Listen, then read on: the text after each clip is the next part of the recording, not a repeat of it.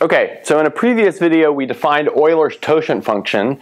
So it's the number of positive integers smaller than n that are relatively prime to n. So that's how we would define phi of n. Um, so, and we also proved a formula for uh, phi of a prime. So in this video, we want to look at a formula for phi of a power of a prime. So I'll write down the proposition first, then we'll look at uh, a couple of examples, and then look at the proof carefully. So the proposition is as follows. So for a prime p,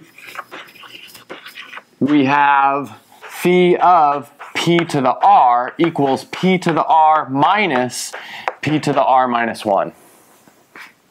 Good.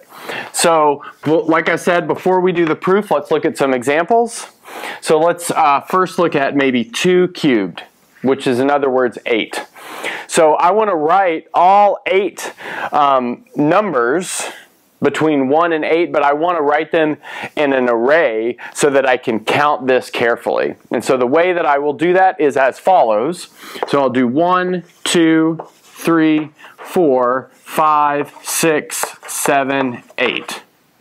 And so I've made this array so that everything in my last column is a multiple multiple of 2, which makes everything in my first column relatively prime to 2. And so since it's relatively prime to 2, that means it also has to be relatively prime to 2 cubed. Um, in fact, you know, if something is relatively prime to a power of a prime, then it has to be relatively prime to that prime and vice versa. So now notice what we get here is we can count up one, two, three, four. Good. So that tells us that phi of 8 equals 4. So uh, maybe this doesn't give us some insight into the proof in general, but maybe if we do one more example, we'll have some insight. So let's look at um, 3 squared.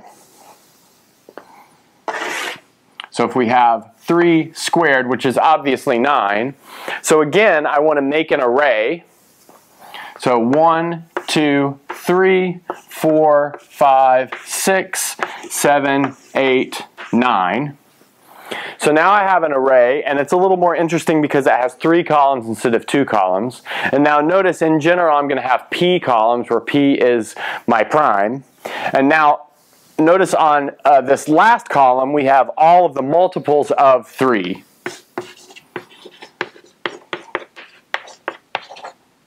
So those are all of the multiples of 3. And if you are not a multiple of 3, then you can't be relatively prime to 3. So that tells you that everything over here is relatively prime to 3. Great. So now notice that tells us that phi of 9 equals 6. So let's see what's really going on here. So now notice in this case, we made an array that was 2 by 4. And the last column was a multiple of 2. The first column every, was everything relatively prime to 2. So in fact, we're taking kind of the area of this uh, sub-array that's left over after we delete everything that's a multiple of 2. Now in this uh, next example, we're making an array that's 3 by 3. We're taking off the multiples of 3, and now notice what's left is an array which is 3 by 2, which is 6. And so that'll be the motivation for the general proof as we'll see once we clean up this board. Okay, good. So I'll clean up the board and then uh, we'll look at this um, generally. Okay, now we're ready to look at the proof in general. So we have a prime p, and we're looking at a power p to the r. So what we want to do is lay out all of the numbers 1 to p to the r in an array. So let's arrange 1, 2, 3, all the way up to p to the r minus 1 times p to the r in an array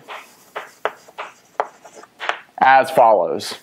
So we'll do it like this, one, two, three, all the way up to P. And now this is p plus 1, p plus 2, all the way up to 2p.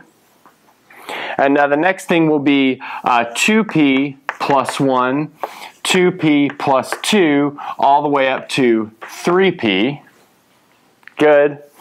And then finally at the end, we will have uh, p to the r minus 1 uh, plus 1, p to the r minus 1 plus 2, all the way up to p to the r. Great. Now if we wanted to look right above this, this would be p to the r minus 1, and now this would be uh, p to the r minus 2 plus 1, and so on and so forth. So this is the structure of our array. Good. So now, what we can see is of all of these numbers laid out in this array, this column at the very end is the only thing that is not relatively prime to p.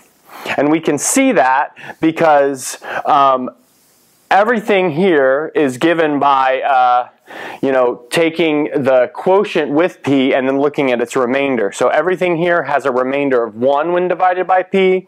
Everything here has a remainder of 2 when divided by p. And all the way up here, everything down here has a remainder of p minus 1 when divided by p. So over here, these are all multiples of p. And then over here, this is everything that is relatively prime to P. And now since we've arranged this as an array, all we have to do is find the um, height and width of this array. So let's see if we can do that. So now notice this is going to be, uh, the total array is 1 to p uh, wide, so that means what's left over is p minus 1. So we have p minus 1 uh, numbers running the width of the array. And now let's look at the height of the array.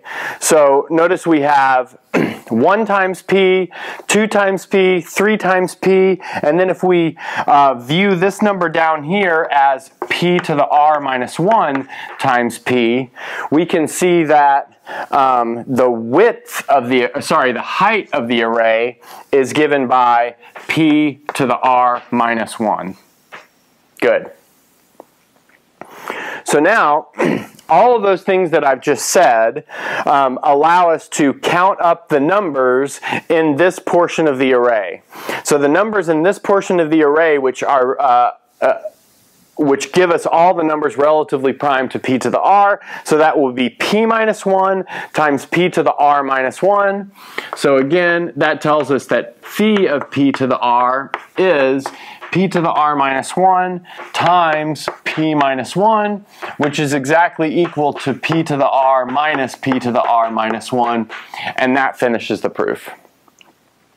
So I think this is proof. This proof is pretty nice because it has a nice visual component to it. Um, and as you'll see, uh, some more proofs that involve Euler's totient function have a nice visual component.